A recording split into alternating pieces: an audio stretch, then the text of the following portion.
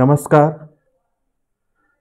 Class eight board preparation series की यह गणित की दूसरी वीडियो है।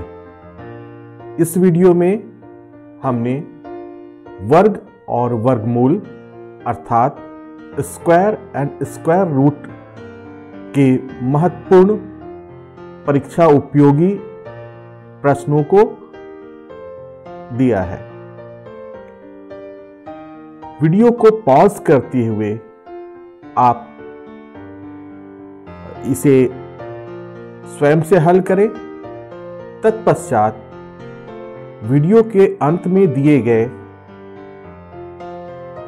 उत्तर से मिलान करके अपनी तैयारी का आकलन करें। जो प्रश्न आपसे नहीं बन गया या नहीं बन सकता है, ऐसा आपको लगता है तो आप अपने शिक्षक से संपर्क करें।